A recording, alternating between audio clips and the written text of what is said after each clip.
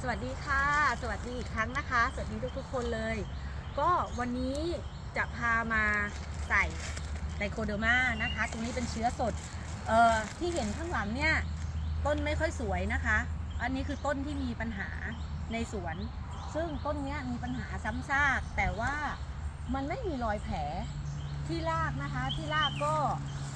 ยังสดใสดีอยู่วันก่อนที่มาเปิดเปิดรากดูนะคะ โคนมันไม่ได้เน่า แต่เข้าใจว่าตรงปลายรากต่างๆ เนี่ยน่าจะโดนโดนแบบซ้ำซ้อน เพราะว่าต้นนี้เนี่ยประวัติเขาโชคโชนนะคะ คือเริ่มต้นเนี่ยมันจะอยู่ใกล้บ่อน้ำแล้ววันก่อนเนี่ยเราลอกบ่อ มันก็มีขี้โคลนขี้ตมนะคะ พอดีว่าตอนที่ทีมที่มาลอกบ่อมาทำเนี่ยไม่ไม่ไม่ได้อยู่คุมงาน สรุปว่าดินเนี่ย แล้วการเปิดน้ำเทสตลอดเนี่ยรากมันสองสามวันอะนะคะสองสองวันสามคืนรากมันน่าจะมีปัญหา แล้วก็มีการมาถมดินบริเวณนี้อีกน่ารากเขาน่าจะได้รับการกระทบกระเทือนเยอะ ทีนี้วันนี้ก็เลย นี่ค่ะ วันนี้เราจะใช้เชื้อสดนะคะ จะใส่ในปริมาณที่เข้มข้นนิดนึง เพื่อที่ว่าจะได้เออช่วยฟื้นฟูระบบรากนะคะ ให้เร็วขึ้นเพ ราะว่าปกติเนี่ยเราจะสมผสมอัตราส่วนก็คือ 1 ถุงต่อน้ำ200 ลิตร แต่ว่าอันนั้นเนี่ยเจ๊จะใช้เพื่อเป็นการป้องกันแล้วก็รักษาสภาพสมดุลไป แต่พอมันเป็นเยอะอย่างนี้ค่ะ เป็นเยอะอย่างนี้แล้วเราก็อยากจะให้เขาน้องเขาหายเร็วๆเนี่ยก็เลยใส่เยอะนิดนึงตัวนี้เนี่ยเจ๊มั่นใจว่าใส่เยอะได้ เพราะมันเป็นชีวภาพแล้วมันก็ไม่ได้ส่งผลเสียอะไร มันอาจจะมีสะสมอยู่ในดินเราเพิ่มขึ้นก็น่าจะเป็นผลดีนะคะ ก็เลย เออเดี๋ยววันนี้เรามาทำกันค่ะ ค่ะอันนี้นะคะแกะถุงมาแล้ว นี่คือตัวเชื้อสดนะคะ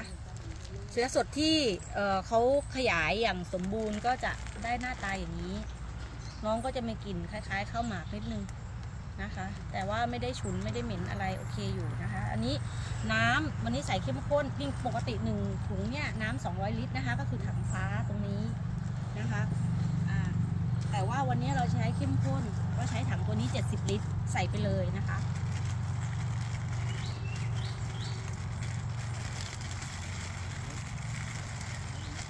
เจ๊ทยอยใส่อย่างเงี้ยเพราะว่ามันจะได้ไม่เป็นก้อนนะนะคะ จะช่วยเดี๋ยวการแตกตัวมันจะดีขึ้น ค่ะ อันนี้นะคะพอเรากวนไปสักพักนะคะ น้ำตอนแรกน้ำสวนเจ๊มันก็ไม่ใสเท่าไหร่นะคะ แต่ว่าตอนนี้เราก็จะเห็นเลยว่าจากสีคล้ายๆน้ำนมมันนะ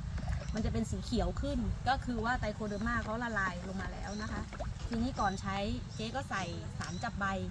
นะคะ ใส่สารจับใบตรงนี้เนี่ยมันเป็นตัวนำพานะคะ ที่เจ๊ใช้มันเป็นตัวนำพาเร่งช่วยกันซึมนะคะ ก็ใส่ไปนิดเดียว เพราะตัวนี้ใช้ตัวเเข้มข้นนิดนึง ใส่ทำไมสารจับใบนี้มันก็จะช่วยให้แทรกซึมแล้วก็ลงไปเกาะในดินได้ดีขึ้นนะคะ เราก็เตรียมเตรียมน้ำไตรโคเดอร์มาผสมกับตัวช่วยจับใบเรียบร้อยแล้วนะคะ ทีนี้เราก็ใส่หัวบัว ใส่บัวมารด ซึ่งจริงๆอะค่ะ ถ้าเราไม่ใช้บัวก็ได้ แต่ที่เจ๊ใช้บัว เพราะว่าเจ๊ว่าเนี่ยค่ะเห็นไหมคะการกระจายตัวมันดีกว่า แล้วทำไมเจ๊ไม่ใส่เฉพาะปลายวงพุวงพุ่ม เพราะว่ารากมันก็ประสานอยู่ทั้งหมดอะนะคะ ทีเนี้ยเราใส่อย่างนี้ไปเลย น้ำที่ออกมาก็ยังคงเป็นน้ำใสๆนะคะเห็นไหม ทำอย่างนี้ซ้ำๆนะคะ 5 วันครั้ง 7 วันครั้ง อย่าปล่อยไว้นาน เพราะว่าที่มันไม่หายสักทีเนี่ยก่อนหน้านี้เจ๊ปล่อยไว้นาน แล้วก็ไม่ได้ติดตามดูแล เพราะไปอยู่เมืองนอกเนาะแต่คราวนี้เราจะกลับมาเอาจริงกับเขาละ